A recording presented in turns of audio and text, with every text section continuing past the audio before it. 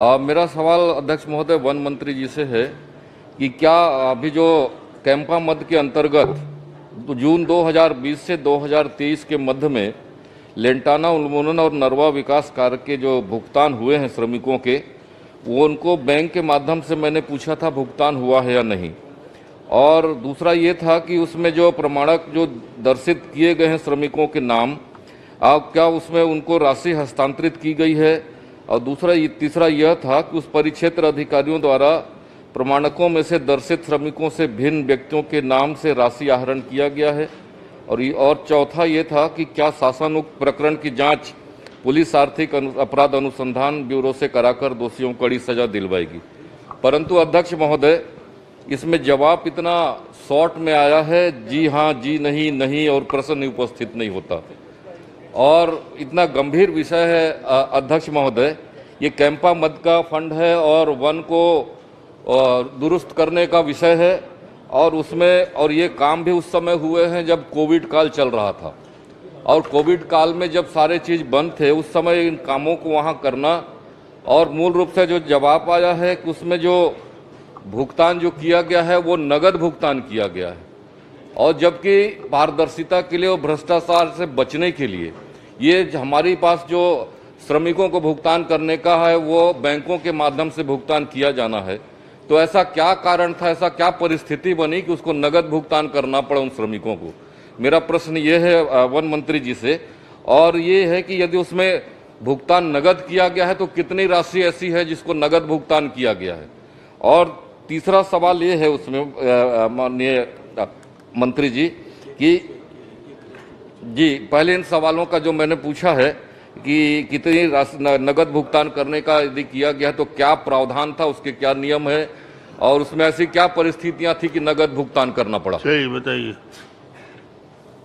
माननीय अध्यक्ष महोदय लेंटाना जो एक खरपतवार है और लगभग 200 साल पहले जब ब्रिटिश यहाँ पर आए थे तब उन्होंने एक साउथ अमेरिका का जो अ, उन्होंने एक शोभादार हेज का एक उसका पौधा लेकर के आए थे और पूरे अपने बंगलों में सजाया करते थे लेकिन वो बंगले से निकल करके कब जंगल में चला गया और जंगल में किस तरीके से पूरे जंगल को बर्बाद करने के, के दिशा में बढ़ गया। पूरे देश की समस्या है माननीय हमारे देश के प्रधानमंत्री जी की समस्या है और उसको निवारण के लिए उसके उन्मूलन के लिए जो योजना बनाई गई और उस योजना के तहत में लेंटाना उन्मूलन के लिए जो केम्पा से और नरवा से तो उसके माध्यम से अ, 2018 से 2022 तक हमारे इस सरगुजा वन वृत्त के क्षेत्र में लगभग आठ हमारे वन मंडल हैं। उन मंडल वन मंडलों में जो काम हुए और उस काम में लगभग हमारे एक लाख संतावन हज़ार सात सौ सड़सठ हमारे श्रमिकों का बैंक के माध्यम से भुगतान हुआ और लगभग पचहत्तर हज़ार छत्तीस श्रमिकों का नगद भुगतान किया गया। और ये नगद भुगतान के संदर्भ में माननीय सदस्य ने जो जानकारी पूछी है तो मैं सदन के संज्ञान में लाना चाहूँगा, अध्यक्ष महोदय, कि यदि ऐसे क्षेत्र जहाँ पर बैंक के सेवाएँ अपर्याप्त हैं, या फिर जहाँ पर हमारे कहते हैं, श्रमिक निवासरत हैं, उसके पाँच किलोमीटर के परिधि में यदि कोई बैंक स्थापित नहीं है तो वहाँ पर कलेक्टर और वन मंडलाधिकारी के द्वारा नगद भुगतान का निर्णय लिया जाता है, अध्यक्ष महोदय, जिसमें हमारे वहाँ के सरपंच है, पंच है, या फिर वन समितियों के माध्यम से उनके उनको श्रमिकों को भुगतान किया जाता है। और इसका इस कार्य के माध्यम से जो जंगलों का अ, को बचाने की दिशा में लगातार काम हुआ है और अ, लगातार इस दिशा में हमारा लगभग पूरे प्रदेश के लगभग चार लाख हेक्टेयर में ये लेंटाना के उन्मूलन का काम को किया गया है।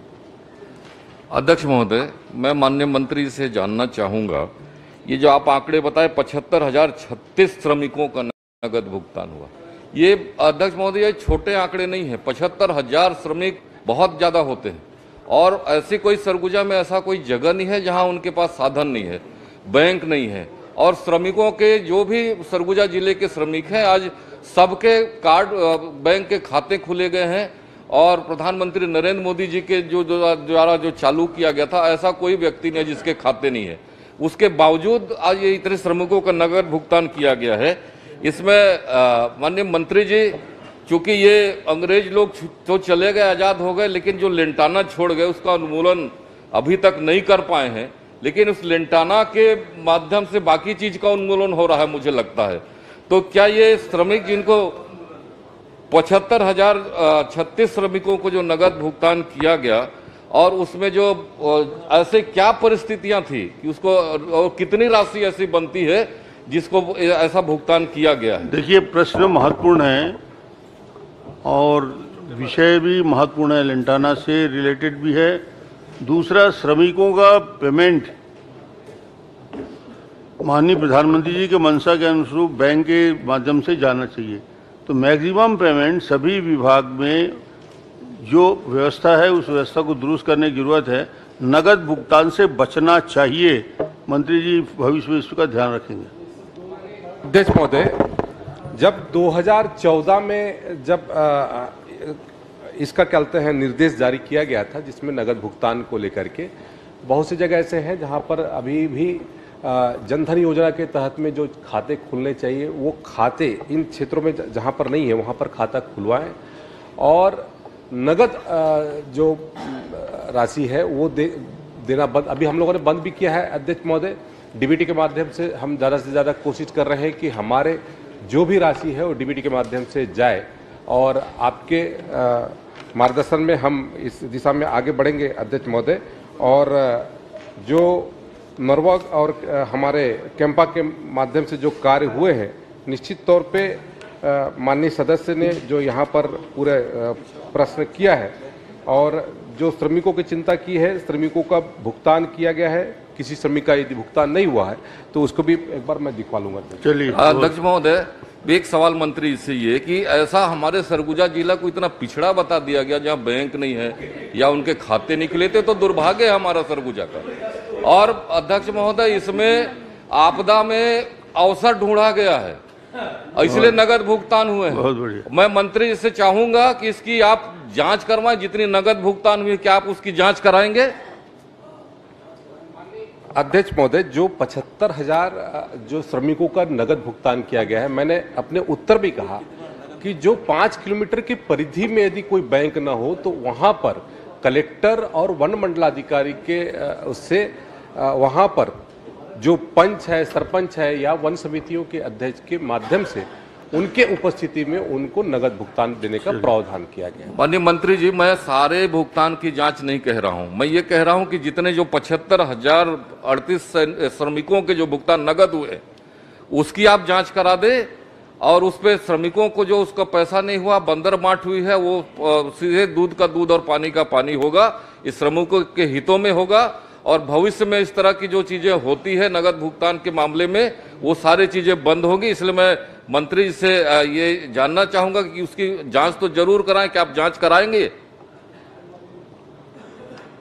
माननीय अध्यक्ष महोदय वर्तमान में नगद भुगतान बंद कर दिया गया है और जो वहाँ पर माननीय सदस्य चाहते हैं कहीं स्पेसिफिक यदि जगह हो जहाँ पर उनको लगता है कि लिख के दे देंगे आप जाँच करा लीजिए। चलिए। चलिए। राम कुमार टोपो जी, रोहित साहू जी। माननीय अध्यक्ष महोदय, मेरा प्रश्न जल संसाधन विभाग का है।